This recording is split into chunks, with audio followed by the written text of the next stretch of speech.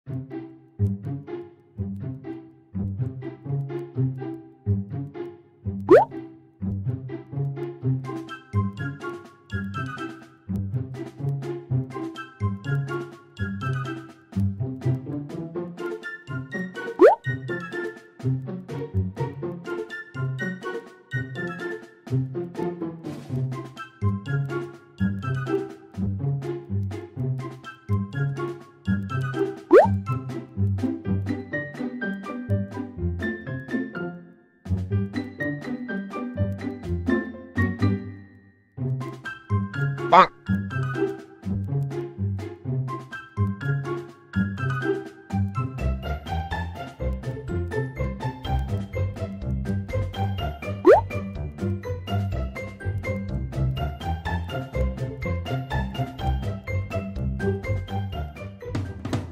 Tidak bisa dipungkiri menjadi pejabat merupakan pekerjaan idaman semua orang. Segala macam cara akan dilakukan agar bisa terpilih menjadi pejabat bro. Entah itu dengan cara yang bersih kek, cara yang kurang bersih kek, yang penting mah bisa terpilih. Di video kali ini Mas Deso telah merangkum deretan aksi tak terduga para pejabat negara. Langsung simak aja deh videonya.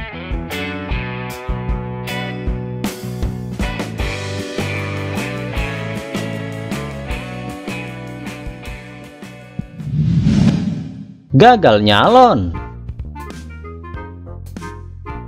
Udah bukan rahasia lagi saat waktunya pemilu semua kandidat akan bagi-bagi amplop bro. Tak terkecuali dengan bapak calon ketua LPM yang satu ini. Tapi karena si bapak ini merasa dihianati, si bapak minta amplop yang ia bagikan untuk segera dikembalikan. Dari 22 amplop yang dibagikan, ini si bapak cuma dapat suara dua biji doang bro. Kasihan amat. Saya sudah nyebar amplop ya beberapa RW ya suara saya dua biji. Akhirnya saya kencengin gitu. Langsung saya sok rapi ya, kepada RW RW tapi etiket baik tidak ada. Etiket minta maaf RW RW tersebut tidak ada. Termasuk RW 15 RW 14 RW 04 RW 02 RW 09 RW 06 dan RW 05 beliau menerima amplop saya. Satu amplop sejuta. Ya. tapi niat baik tidak ada. Tidak ada minta maaf. Memang ada orang tersebut yang mengantarkan amplop. Ya. Karena beliau e, ketakutan atau ya mungkin segan menemui saya. Pak RW 16 Pak Faisal sudah memulangin amplop saya. Ya. Ya intinya saya mesti ketegasan hari ini. Ya. Saya tidak suka orang-orang munafik ya. Ya. Pak Faisal sudah menyerahkan amplopnya. Ya untuk RW-RW lain, tolong serahkan amplop itu. Kalau tidak, akan saya parani satu persatu rumahnya. Tolong diingatkan, ngisi bangor, ya, jangan dipermainkan, ya. Ini saya di rumah PRW 6 ya. Saya di rumah PRW 6, beliau tidak ada di rumah. Saya parani satu persatu RW yang orang-orang munafik, ya. Buka pintu pesawat. Kejadian tak terduga terjadi dalam sebuah pesawat yang akan terbang dari Jakarta menuju Blora, di mana salah satu penumpang tak sengaja buka pintu darurat bro. Akibatnya penerbangan pun terpaksa dibatalkan, dan setelah penyelidikan lebih lanjut, penumpang tersebut merupakan seorang kepala desa yang berasal dari daerah Blora, Jawa Tengah.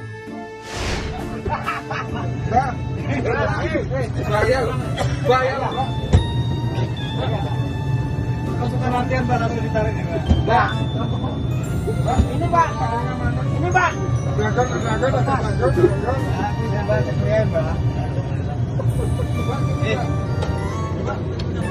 Lepas Pak.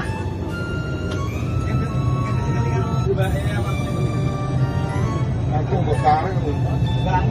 Itu buat praktek malah kok. Nah. Nah, bener tau medun meneh. Medun meneh bahaya, awak dhewe makan bahaya. Pak.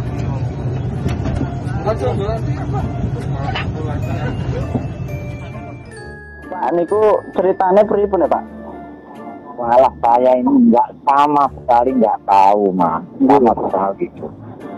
Saya itu kan dipindah dari eh, nomor tujuh satu, pindah ke samping gitu lah. Saya ini kan kebetulan di di depan jadi akhirnya sa- saya ini tangan saya yang sebelah kiri ya yang itu nyamplok ya. Mungkin nekan nekan itu karena berintitan dengan forcing. Hmm. akhirnya anu apa itu? Kemudian itu ada. Oh, tiba-tiba jeglek mana ya Pak? Naik meja. Aksi dari anggota DPRD asal Batam ini kayaknya nggak pantas buat ditiru bro. Pada saat beliau lagi rapat dengan anggota lainnya, si bapak ini tidak bisa menahan emosinya. Anggota DPRD yang bernama Safari Ramadan ini emosi hingga melempar mic bahkan sampai naik ke atas meja. Dan berkat aksinya tersebut, si bapak ini sempat viral di medsos. Emang apa sih pakai naik meja segala? Ya saya sendiri kurang tahu sih Pak Ade, tapi apa pun masalahnya etika tetap harus dikedepankan. Pak Lurah bisa selesaikan nggak? Ini di sidang bisa sampaikan. Bapak bisa selesaikan nggak masalah ini? Ini kan wilayah Bapak.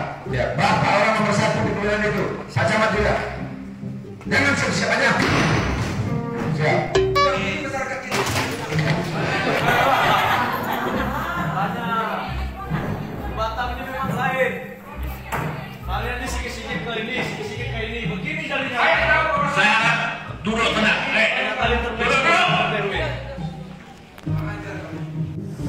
Assalamualaikum warahmatullahi wabarakatuh. Eh, saya Safari Ramadan, Wakil Ketua Komisi 1 DPRD Kota Batam dari fraksi Partai Amanat Nasional. Eh, kepada seluruh warga Batam, saya sekali lagi dengan kerendahan hati, dengan eh, apa yang telah terjadi, mungkin eh, saudaraku juga melihat video yang beredar. Pertama saya sampaikan bahwa video yang beredar itu adalah videonya tidak lengkap. Itu adalah video potongan-potongan video yang tidak lengkap tentu menjadikan asumsi yang sangat berbeda. Tapi walaupun bagaimana itu, saya tetap bertanggung jawab bahwa itu memang adalah saya yang eh, terjadi di saat eh, rapat dengan pendapat di Komisi 1 tentang masalah penyelesaian pemilihan UU yang ada di Perumahan Galaksi, Kelurahan Tengah Kecamatan Sumpah, Kota Batam. Jadi dalam hal itu sebenarnya saya ini saudaraku orangnya tidak marah. Ngantuk. Yang namanya manusia itu pasti butuh tidur bro. Mau itu bapak presiden kek, bapak menteri kek, bapaknya asap kek Semuanya pasti butuh tidur. Salah satu contohnya ya kayak si Ombil ini nih Yang ngantuk berat saat lagi rapat karena semalam habis ngeronda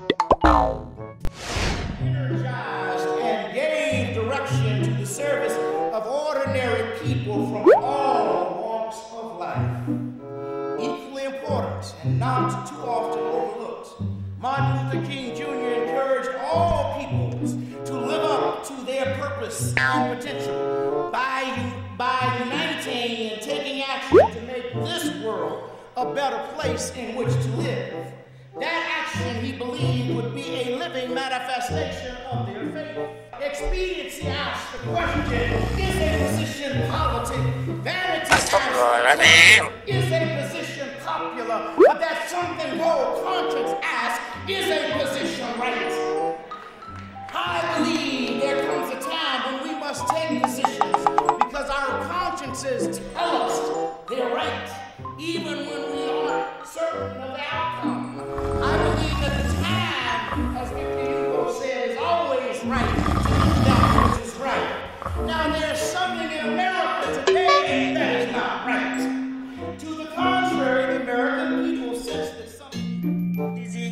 તમારું ખૂબ ખૂબ સ્વાગત છે ભવતુ સર્વમંગલમ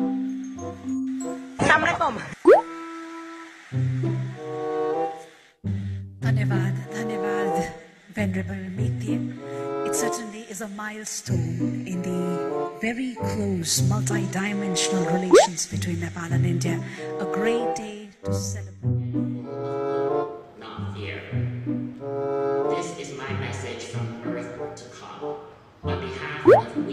this deal, I ask you, please help us to guarantee a